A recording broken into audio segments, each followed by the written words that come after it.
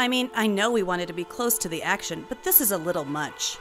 Mom, can I wear the earplugs now? Kelly, give your brother the earplugs.